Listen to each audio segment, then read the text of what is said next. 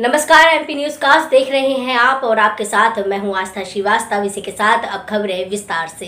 छिंदवाड़ा ज़िले के जुन्नार देव विधानसभा के अंतर्गत तामिया के चावलपानी में 12 लाख की लागत से बनने वाला सामुदायिक मंगल भवन बनने से पहले ही भ्रष्टाचार की भेंट चढ़ गया है।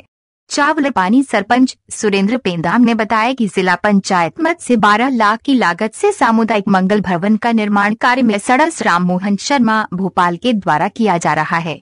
जो भ्रष्टाचार की भेंट चढ़ गया है, सामुदायिक मंगल भवन के ऊपर की टॉप बीम क्रेक हो गई है और स्लिप से पानी सीपेज हो रहा है।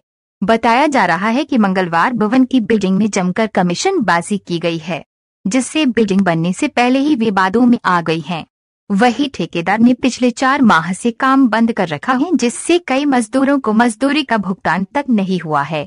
अब देखना ये होगा कि प्रशासन क्या कार्यवाही करता है। संवाददाता शुभम सहारे छिंदवाड़ा। जिला पंचायत मत से एक मंगल भवन स्वीकृत हुए थे जिसकी लागत 12 लाख थी जिसका निर्माण काम भोपाल की एजेंसी द्वारा किया जा रहा था।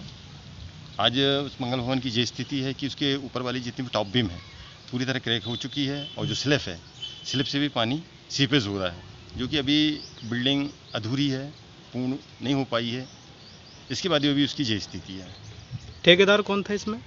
इसमें भोपाल की कोई एजेंसी है। भोपाल की एजेंसी है? हाँ। अच्छा। निर्माण गुणवत्ता ही है? पूरी तरह गुणवत्ताहीन है। वो दिख रहा है आपने भी देखा उसकी मॉनिटरिंग की है। हम्म, और उसकी जो बिम है पूरी तरह क्रेक हो चुकी है। हम्म, जगह जगह से छोड़ दी उसने। हम्म। चलिए।